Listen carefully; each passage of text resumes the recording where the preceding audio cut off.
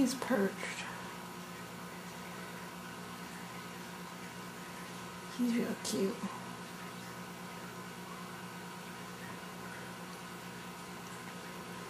We just filled the feeder.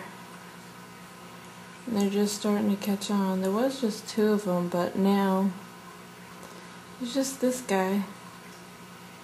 They're very territorial. They try to keep each other away.